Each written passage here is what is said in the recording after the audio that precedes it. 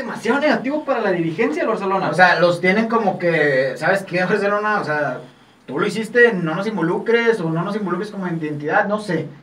No, Pero, no por sé. ejemplo, es Messi, es Suárez. Es Piqué también, Es en la foto, Piqué, sale, no sé si sale Sergio Busquets. Ahorita buscamos la foto, Pero- pero, salen muchos jugadores emblemáticos y figuras.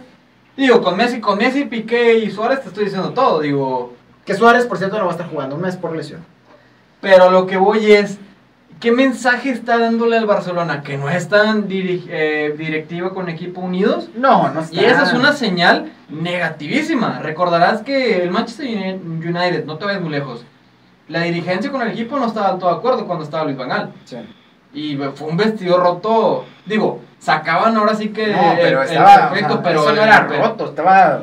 No, no, no, eso está pulverizado. Eso está pulverizado en su máxima expresión y Sí. ahora eh, con el Barcelona está pasando algo muy similar. Fíjate lo importante que es tener desde tu principal, desde tu cabecera, desde, desde tu el presidente, tener un buen presidente. Claro. Eh, O sea, ¿desde dónde empiezas? Si tu presidente no te está dando buenos resultados, te vas a caer a pedazos.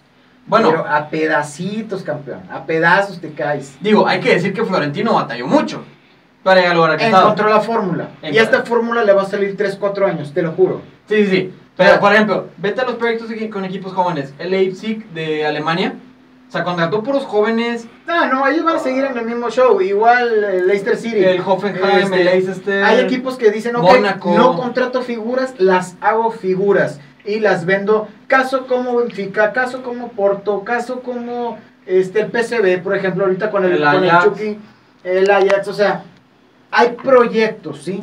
Hay muchos proyectos los cuales hay equipos que me gustan. Ahorita el Barça no le ve una identidad. Compraste a Paulinho para por Bueno, está la nota chusca de que solamente una camiseta ha sido ven- ha, salido de la tienda Megastore de Barcelona. Fue regalada. No, es cierto. Es, es- es en serio.